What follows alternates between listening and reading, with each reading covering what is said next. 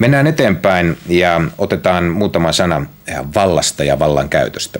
Katson tässä eilen illalla erästä vanhaa dokumenttia 60-luvun alusta, jossa viime viikolla meille tässä ohjelmassa hyvin tuttu henkilö esiintyi presidentti John F. Kennedy. Hän siinä erässä puheessaan legendaarisin sanoin sanoi siitä, että on kaksi eri asiaa. Silloin kun mies liikuttaa valtaa tai valta liikuttaa miestä.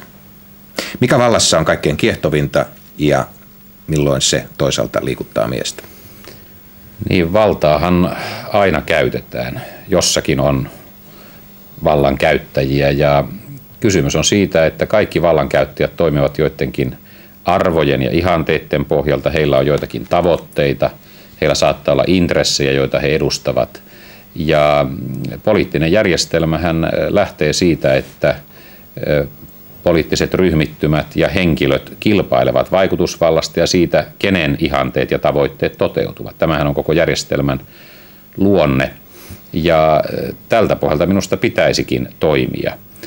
Onhan se selvää, että vallankäyttöön liittyy aina myöskin lieveilmiöitä. Ja sen takia minun mielestäni poliittisten järjestelmien tulisi olla hyvin kansanvaltaisia ja hyvin avoimia – niin että aina tiedettäisiin, kuka päätöksiä tekee ja kuka niistä vastaa, että ihmiset voisivat sen perusteella sitten joko palkita tai rangaista, mitä sen perusteella, mitkä tulokset ovat olleet. Tässä suhteessa minusta meidän järjestelmässämme on kovastikin toivomisen varaa.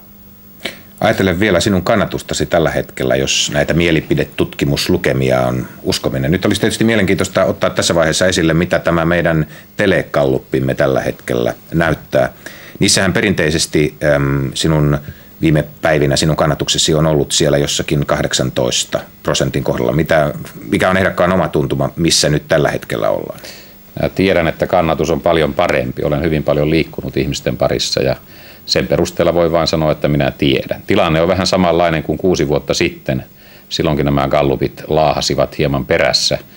Nyt tosin tänä päivänä on liikkunut jälleen käytävillä tietoja. En tiedä, mistä ne ovat peräisin siitä, että nämä luvut olisivat muuttuneet ja olisivat minun kannaltani nyt paremmat kuin nuo äsken mainitut.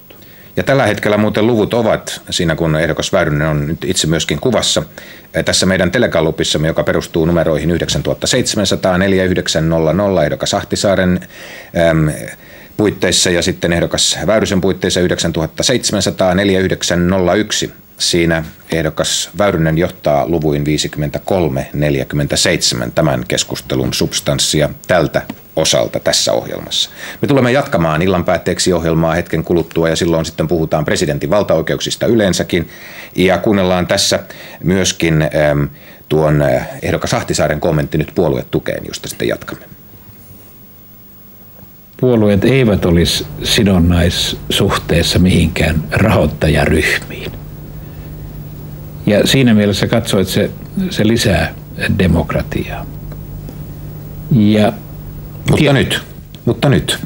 Tietysti tänä päivänä tilanne on hiukan toinen, mutta mä uskoisin, että siitä huolimatta olisi, olisi kyllä syytä jatkaa tätä, tätä järjestelmää, koska muussa tapauksessa sitten joudumme siihen, että yritykset rahoittavat puolueita – kyllähän yksilötkin voivat sitä tehdä. No hyvin paljon tapahtuu joka tapauksessa niin, että kyllähän meillä kunnallispolitiikassa on nähty osittain, mihin se sitten johtaa. Mm. Tosin tänä päivänäkin yrityselämä oikeastaan rahoittaa varmasti sinunkin kampanjasi siinä samalla kun rahoittaa muidenkin kampanjaa. Mä uskon, että jossain määrin varmaan, varmaan näin tapahtuu, vaikka mä en itse eh, rahoituspuolesta vastaakaan.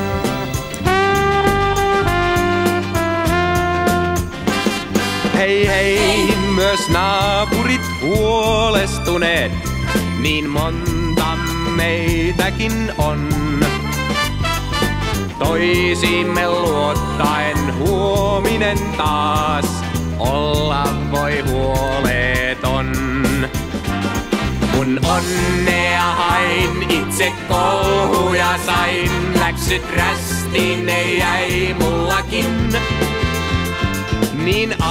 Arvaamaton reitti ihmisen on, kumpa sen vain aavistaisin. Hei hei, hei. pois naapurit riitelyt nuo, ei syytä niihin nyt lie. Olkaamme tuttavat keskenään Yhteen nyt johtakoon tien. Yhteen nyt johtakoon tiemme tää. Yhteen nyt johtakoon.